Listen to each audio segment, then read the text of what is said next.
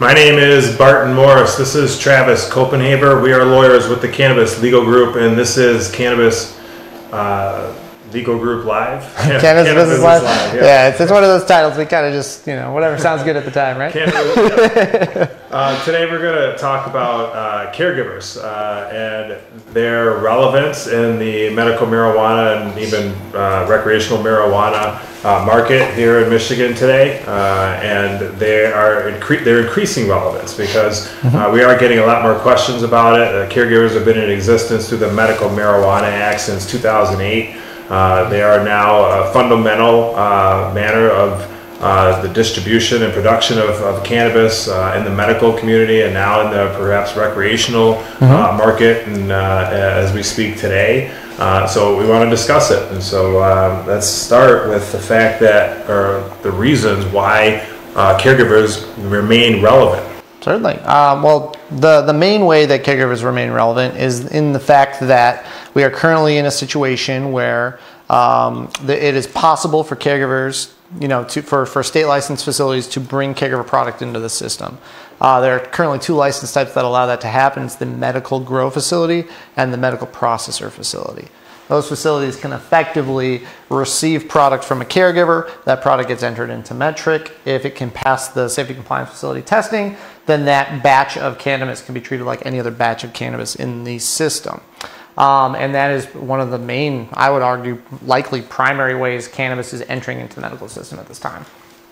All right. so, you know, we're seeing a lot of caregivers uh, that are really seeking to uh, enter the market or remain in the market, right? Mm-hmm. Uh, in fact, uh, I'm seeing more and more people saying, you know what, perhaps it's too expensive to get a commercial license, and perhaps maybe it would be just more economical, uh, a lot less regulation to uh, have a caregiving grow. Yep, a lot of those caregivers who perhaps wound down their caregiving operations because of the new licensing you know, now realizing, oh, there's this new opportunity for product to come back in. Um, so I think we, we wanted to bring this topic up because it's, it's a backbone of bringing product into the medical system right now. Um, but it's also something that I think caregivers should really understand better. Um, basically, the Marijuana Regulatory Agency, the MRA, has through, I believe, an executive order that was then kind of re-upped by a bulletin said if you're a state licensed grower, a state licensed processor on the medical marijuana side, you will not be punished for receiving this product from a caregiver. And then these are the steps to bring the product in. It's really important if you're a caregiver to understand what the MRA can and cannot do. The MRA has no ability to basically amend or change what your rights are under the 2008 Medical Marijuana Act. And that is the act that makes you a registered caregiver, and nothing in the MMMA says that a caregiver is legally allowed to engage in this transaction, and that is why I think we wanted to really start with this topic. Right, because uh, I think that it's probably a misconception that uh, because caregivers are now permitted to take their uh, product and then enter it or to give it to a processor or, or, a licensed grower, enter it into the Metrc system, it seems as though that there's this lawful, mm-hmm. uh, uh like permiss- permissible, uh, lawfully uh, activity um, but it's not, is it? It isn't, and I think like what not to say there isn't some sort of defense we could probably try to raise from the situation, but some, I mean, reliance and entrapment, yeah. all kinds of things. But but if you just look at what the law says, and, and, and remember that's at the end of the day what's going to cut it when it needs to cut it. The law says if you're a caregiver, you can grow product for a card connected patient. You're only a caregiver if a patient selects you to be your caregiver. And what you're growing is supposed to be for your patient. Now you can have up to 12 plants and you can only have up to two and a half ounces of usable marijuana per patient. We all know what the reality is of growing plants and those numbers and they don't make sense. We all get that. But the law protects you if you are helping grow cannabis for your patients. At the, in the grand scheme of things, as a caregiver, those plants and that product are for your specific patient. So, you know, quite frankly, if you look at the Medical Marijuana Act, you're only allowed to have enough marijuana to meet your patient's needs. So even if your some patients might need more marijuana than others, you know, just because everyone's growing 72 plants and has five patients doesn't mean, technically speaking, that you need that much marijuana for the patients you're helping. Uh, on top of that, though, and probably more importantly, nothing in the Act says you're allowed to engage in this transaction. In fact, if you look at Section 4, it specifically says, you know, a caregiver who sells marijuana to someone who is not allowed to receive this product under this act is punishable by a felony. I mean, it literally says that. So um, now the MRA is the one that polices and, and, and, governs license holders. So the medical license grow, the medical license processor can feel safe in receiving this product. They're protected. Because the MRA can protect them. They are li- literally the ones who would punish them. The caregiver is not in the MRA system. I mean, to a certain degree, they issue the cards and things, but the, the law does not basically have you, the caregiver, interacting with the MRA in, in operations. So I think the bottom line uh, that it's important for caregivers to know is that uh, the advisory bulletin and the executive order is protecting and seeks to protect the the uh, licensee, the the grower and the processor through the medical, excuse me, through the marijuana regulatory agency, and not the caregiver. Uh, the next question then becomes, well, what's the caregiver's real, true criminal liability, and what's their what's the what's the potential for them to really get in trouble? It seems as though it's almost like entrapment. They're saying, go ahead, you know, provide your overages to uh, to these licensed uh, growers, and, and and perhaps nothing's going to happen. But the fact is, is that it's possible something can happen, mm-hmm. uh, and we, will move on in a second. But I, have seen situations where caregivers are now have a significant amount of product that they're transporting from their grow to a facility, uh, and, and that's a that's a liability situation. Uh, again, caregivers not protected under under that permissibility. The, the licensees are. Uh, and, the, and, depending upon where the caregiver is operating, where they're traveling, uh, depending upon the uh, the manner in which that county prosecutor or county sheriff's department feels as though that they could be prosecuting this or not uh, uh, could be an issue. Sure. And, and, and, and so the caregiver definitely needs to right uh, protect themselves and perhaps understand that there is still liability. Right, and, and proposal one obviously speaks to like the, the potential punishment if you do, you know step out of bounds in this situation and things. You know, proposal one takes a lot of the criminality away from previous cannabis conduct and things. But but one thing that just kind of put a pin in this that I think if you're a caregiver and you're thinking about doing this, just keep in mind. You know, we all know before the MMFLA, caregivers brought product to these dispensaries, and there was never really a paper trail. You know, no one's name was associated you know, it was kind of all off the books. No one was regulating that conduct. But now these are licensed facilities and their books are open to regulation and, and review. So if they're going to be issuing you a payment to you for receiving this product, there's going to be a paper trail. And you know, in most cases, they're probably going to issue a W-9 for the for the payment, so they can keep track of it on their books on and things.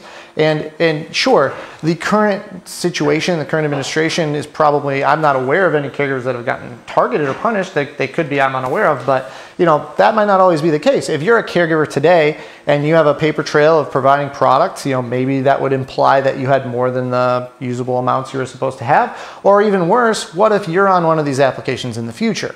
When you submit your information, tax returns, bank statements, all of this goes in for a background check. And, you know, the MRA, the ones reviewing you, also have all the records of the operators. So, you know, today maybe the MRA isn't really worried about caregivers and, and maybe you would have an issue on your pre-qualification, maybe you wouldn't. But if, you know, politics change or you're on this application in the future, now there's a record of you doing this and it might make it actually difficult for you to seek future prequalification if you're ever in a position to be on these licenses. It's also a good idea to recognize the fact that these W-9s that the operators are going to be then sending to the uh, IRS also mandates the fact that the caregiver is going to have to disclose or uh, uh, uh, put that income on their exactly. tax returns. Because yep. if they don't do that, there's other records that demonstrate yep.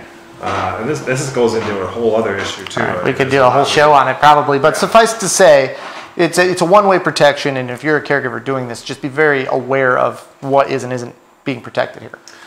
So, uh, but we still have a, I think, uh, an increase in the number of caregivers. Uh, Certainly, now. there's been uh, uh, a, a, lot more activity, a lot more people that are interested in getting into caregiving. I think, as I said earlier, one reason is because uh, it is now being determined that it becomes it is a, it's expensive in order mm-hmm. to be mm-hmm. able to get a, a license, uh, class uh, B, B or C license, perhaps a little bit easier get a class A, you know, rec license. But if the city's going to, uh, if anyone lets you, sure. Right. um, so caregivers then are now looking for places where they can grow. They don't have to grow in a home, and they're recognizing that perhaps there's better places to grow and they're looking to uh, industrial or commercial properties. So mm-hmm. the next question becomes then, to what degree and, and what manner are they able to uh, grow legally in an industrial or commercial property in a city that has uh, opted out of, uh, of commercial um, marijuana. Uh, as we know, uh, there's many cities that have opted out, right? And these, Sure. these cities have said, we don't want any commercial facilities. They've opted out of the, recre- uh, the Regulation and Taxation of Marijuana Act, they've, and they've opted out of the Facilities Licensing Act. That's the commercial, recreational, and medical uh, marijuana. Yep. That does not mean that they have opted out of the caregiving uh, program. They cannot opt out of the Medical Marijuana Act. So the question then becomes, well, how, what, what can a caregiver do in order to be able to legally operate at a facility or in a, in a business or in a, uh, uh, an industrial uh, property uh, or a commercial property outside of a home? What do they have to do? And so I'm getting a lot of questions as to whether they can get a uh, occupancy permit.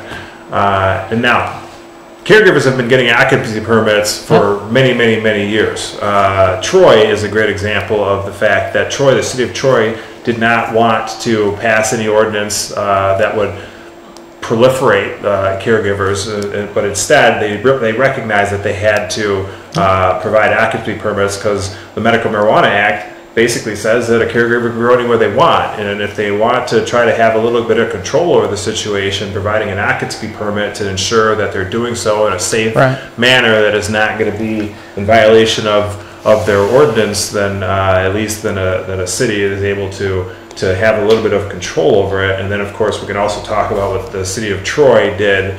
Probably very, uh, that it was a little bit more than what most other cities are doing. Right. But they did pass a caregiver like registration or caregiver uh, uh, application in, to, in order to limit the number of caregivers. Right. And if, if you've been a caregiver before the MMFLA, this is not a new challenge that this is, shouldn't sound new to you. You know, before we had the commercial side of licensing, you know, caregivers, not all caregivers would be even capable of growing in a residential location. And, you know, municipalities who are anti-marijuana would try to put processes, systems, applications, permit costs in place to usually with the goal of preventing cannabis conduct in non-residential locations or just in general in their communities. And you know, we saw some of that pushback kind of grow and, and come come back down. You know, Ter Beek versus Wyoming was the big Supreme Court case from Michigan that kind of gave us one legal kind of defense for these situations.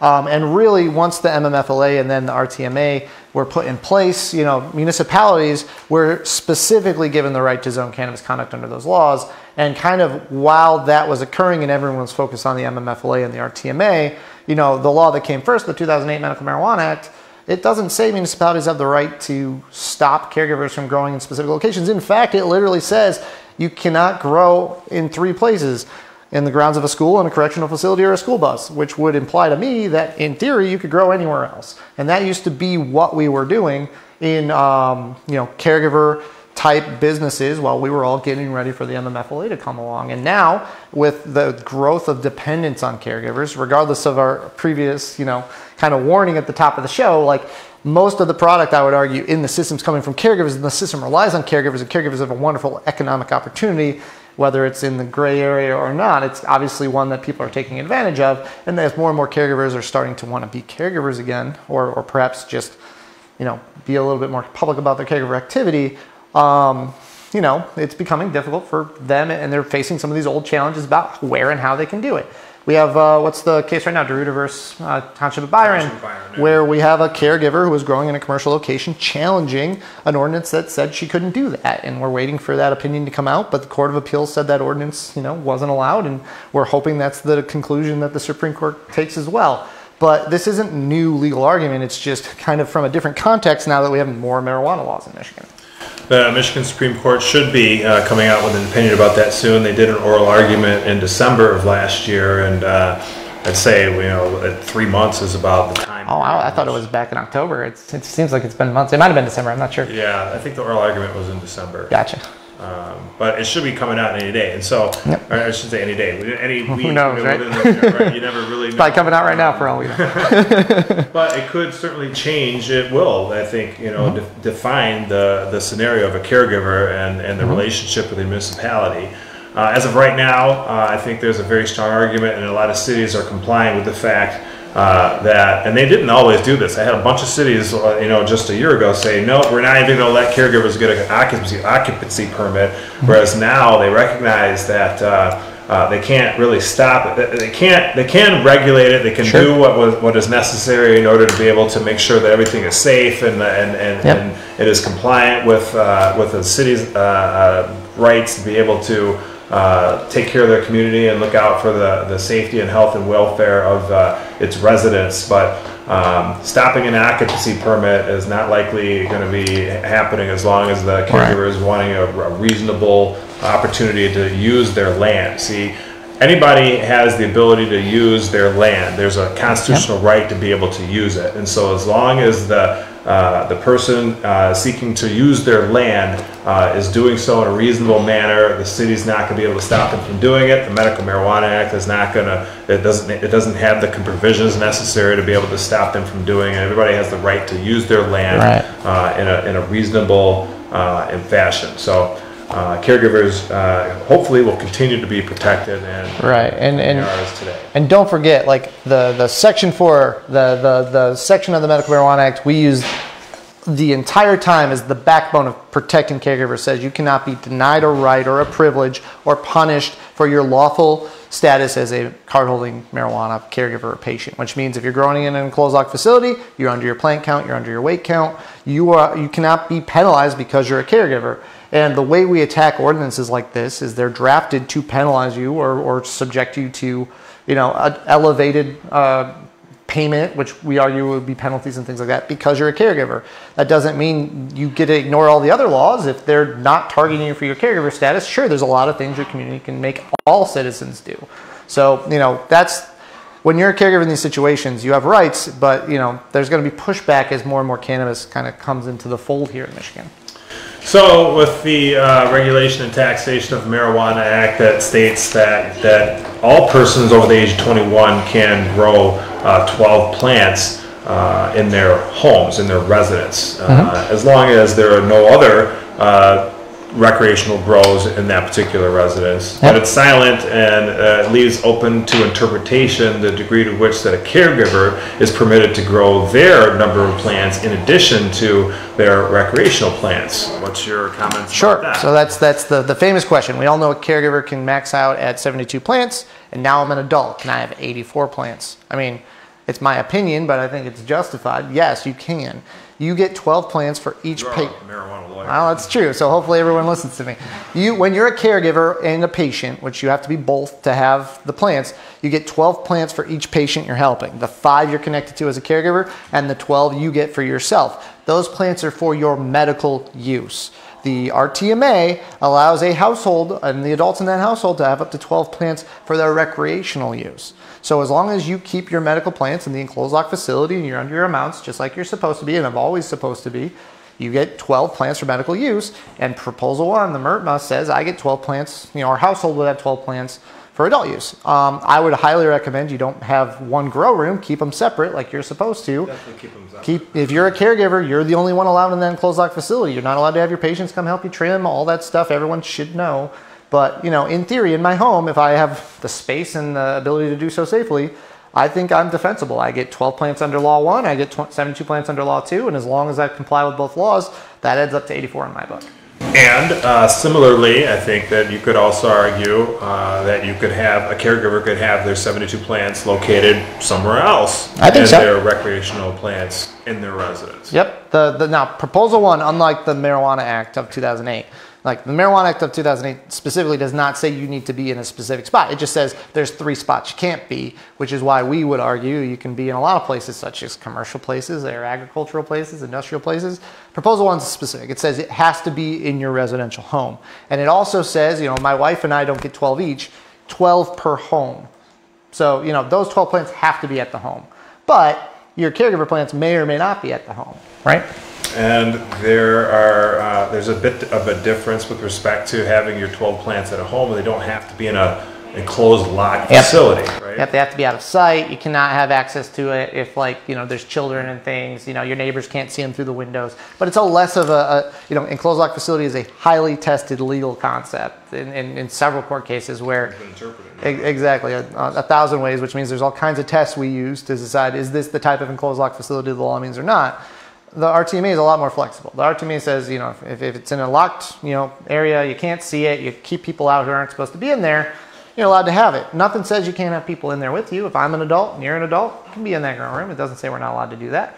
You know, we're not talking, marijuana is not illegal anymore. And the, the reason the law was written that way for, for medical marijuana is because it was never really legal. It was just an affirmative defense. And if you stayed within the bounds of the law, you could raise that defense. If you were the caregiver and I was not, you have a defense you can raise. I cannot, right? On the RTMA side, cannabis is legal. I can be around a cannabis plant. It's just when I'm growing plants in my home. You know, I can't put them outside in the garden, open air to the sun. You know, people can potentially see them. I have to keep them somewhere out of sight, out of mind. You know, keep them away from kids, stuff like that.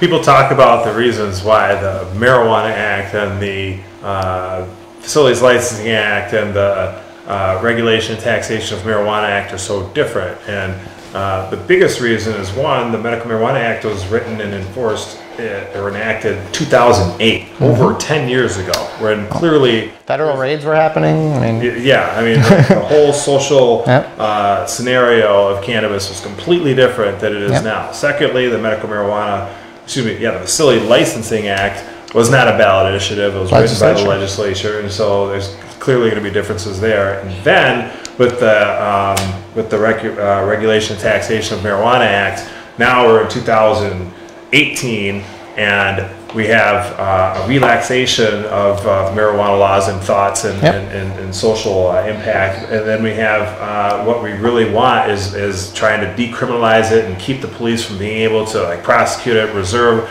the rights for home growing. I mean, yep. it, so there's really like three uh, really significantly different acts that are all now trying to work with each other. It's something that uh, I'm on the marijuana work group at the, the Attorney General, and it's something that we've been working on a lot, trying to figure out how to like harmonize these three things.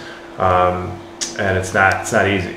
Yeah, and I think it's important to remember. I mean, this is not going to be shocking to anyone who follows cannabis law. I mean, legalizing cannabis has been an effort in compromise. You know, in 2008, we, we got the victories we could get. That law's flaws are specifically because of one, we had to make compromises with people who weren't ready to legalize cannabis, and two, we had to design a law that was appropriate for the federal landscape at the time. You know, in California, there were literally raids of licensed cannabis facilities. Michigan good or bad, designed a system that was basically immune to federal raids. We had small non-commercial grows in every household that wanted one, as opposed to state licensed, easy to find, easy to kick the door down and raid facilities. That was probably very appropriate in 2008. Doesn't really work super great in 2019, right?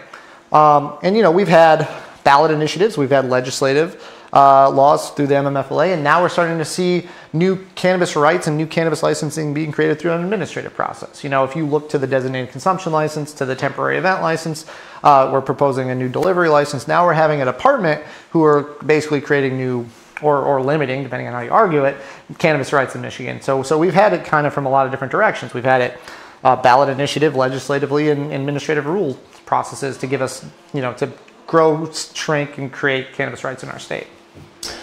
Uh, absolutely.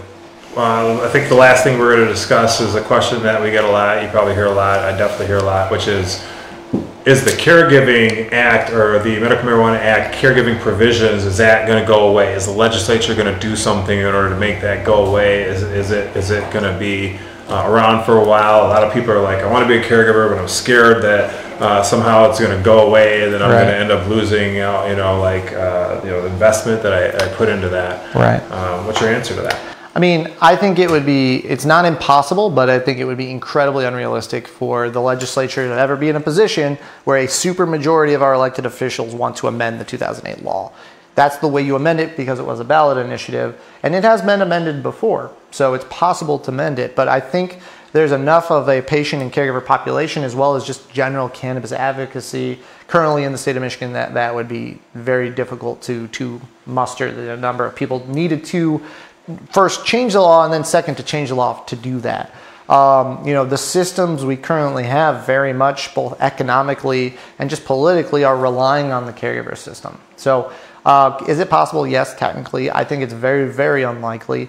Um, what I always tell caregivers who ask me this question is what's much more realistic is that it will never go away, but we will continue to shift the economic dependence off of caregivers onto the new license types as we move forward. That's exactly correct. I totally agree. Uh, the caregiving system and the license or uh, registration is not going to go away. It would it would necessitate not only three quarters uh, supermajority, but also necessitates in order to be able to get that majority, we would have to have um, a significant movement away from that, and I mm-hmm. just don't see that going anywhere. I mean, the, care, the rights of caregivers are strong, and they're going to remain that way, I think, for, for a very long time, if not forever. So I don't mm-hmm. see that that going away at all. But I do agree also that it, there are good there is going to be a shift away from it at some point uh, especially as there are more and more retailers and provisioning centers that are uh, licensed, of course, with also uh, growers, and there's more marijuana that's entered into the uh, uh, into the commercial system.